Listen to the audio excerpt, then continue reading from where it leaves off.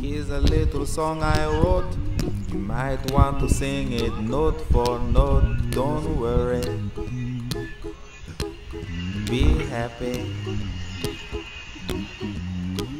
In every life we have some trouble. But when you worry, you